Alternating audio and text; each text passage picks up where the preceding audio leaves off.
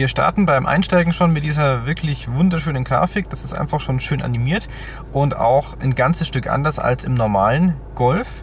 Und ansonsten steuern wir das Active Info Display hier mit diesen Tasten wie auch sonst ganz gewöhnlich. Im Polo GTI gibt es hier eine eigene Taste, wenn man das Active Info Display hat. Hier steuern wir aber mit dem OK-Button zum Beispiel die Hauptansicht. Einmal, so ist es mir immer am liebsten, die Navikarte groß oder klein. Das kann ich hier mit OK umschalten. Dann wird mir die Karte etwas größer, beziehungsweise die Tachos werden dann kleiner, je nachdem wie ich das möchte.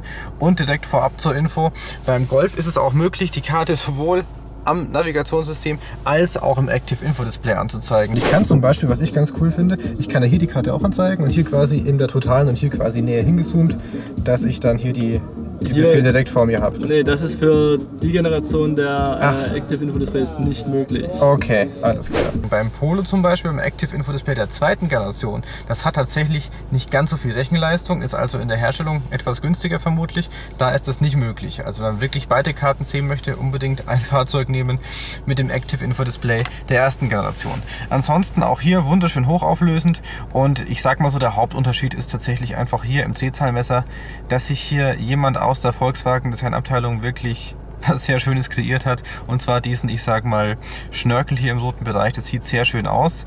Und ansonsten ist auch alles im Active Info Display, wie aber auch im Navigationssystem beim GTI oder auch GTI Performance dann bei den Displays immer rot hinterlegt. Also was beim normalen Golf blau ist, sehen wir hier eben in rot. Ich schalte mal die Menüs durch. Wir haben die verschiedenen Ansichten. Also was ich in den Tubes sehen möchte, kann ich hier festlegen. Zum Beispiel die Navigation, Navigationsanweisungen. Das ist relativ interessant. Die Fahrerassistenz ist zum Beispiel der Lane Assist gerade aktiv. Wenn ich das aber nicht anzeige, sehe ich das auch sehr schön hier unten. Da steht die Geschwindigkeit, die ich als Z eingestellt habe, beziehungsweise im Limiter. Verbrauch und Reichweite ist wahrscheinlich am interessantesten. Ich bin entsprechend dynamisch gefahren gerade. Nächstes Menü wäre Audio. Hier auch sehr schön, wenn man sich mal das Bayern 3 Logo anschaut. Jetzt ist es nicht mehr scharf, aber wirklich auch sehr hochauflösend. Man sieht es auch an den einzelnen Symbolen, zum Beispiel am Anschnallsymbol. Wirklich echt hübsch. Das Telefon, je nachdem was gekoppelt ist. Fahrzeugstatus, da haben wir keine Fehler. Und der Lap-Timer, den habe ich vorhin schon mal laufen lassen. Das ist also auch eine Eigenheit ähm, bei den GTI-Modellen oder auch beim GTI Performance. Da kommt das Active Info Display mit Lap-Timer. Ansonsten gibt es hier aber tatsächlich in den Menüs keine weiteren Unterschiede. Das ist also das Active Info Display der ersten Generation im Golf GTI Performance, dort Serie, natürlich auch verfügbar im normalen Golf GTI oder Golf GTD. Was können wir noch machen? Wie gesagt, hier rechts bei der Reichweite schön zu sehen, nochmal in Rot etwas animiert, obwohl ich ja unten auch den Tankstand habe. Und dann natürlich die Navigationskarte. Fahrerassistenz in groß und Navigation in klein. Ich würde mir das zum Beispiel so legen, dass ich hier immer den aktuellen Navigationsbefehl habe und der Beifahrer möglicherweise hier noch navigieren möchte im größeren Umfeld am Infotainment-System und hier dann das Ganze auch nochmal einstellbar. Letzte Ziele sind hier direkt drin, die kann ich direkt auch so anwählen. Ich muss also nicht ins Navigationssystem.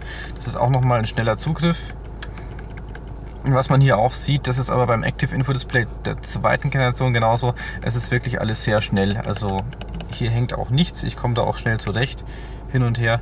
Das ist überhaupt kein Thema. Hier hängt sich auch nichts auf. Also die Animation der Zeiger, wie jetzt zum Beispiel, das ist auch so flüssig, dass es für mich aussieht tatsächlich wie ein echter Zeiger. Ja, wir freuen uns über eure Kommentare. Würdet ihr euch das dazu konfigurieren im Golf GTI? Ich würde sagen ja, denn das alte ist tatsächlich noch wie im vorherigen Golf. Das hat sich nicht stark unterschieden zum neuen, da hat sich nicht viel geändert. Ja, so viel zum Active Info Display Sport der ersten Generation im Golf GTI Performance.